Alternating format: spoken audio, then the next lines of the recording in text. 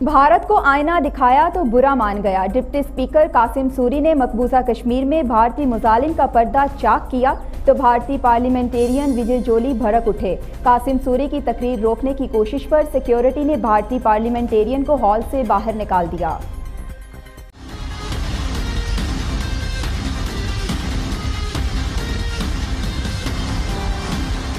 Conference سے خطاب کرتے ہوئے ڈیپٹی سپیکر قاسم سوری نے مقبوضہ کشمیر میں بھارتی مظالم کرفیو اور انسانی حقوق کے خلاف ورزیوں پر بھارت کو آئینہ دکھایا تو سچ بھارتی پارلیمنٹیرینز کو ہضم نہ ہو سکا۔ کا جیسا کہ بین الاقوامی قوانین کے تحت ان کے حقوق کا تحفظ کیا گیا۔ ہے بلا جواز احتجاج کرتے ہوئے قاسم سوری کو تقریر سے روکنے کی کوشش کی گئی۔ لیکن قاسم سوری نے پوری جرت کے ساتھ اپنی تقریر مکمل کی اور بھارت کو ایک اور عالمی ایوان میں مسئلہ کشمیر پر منہ کی کھانا پڑی۔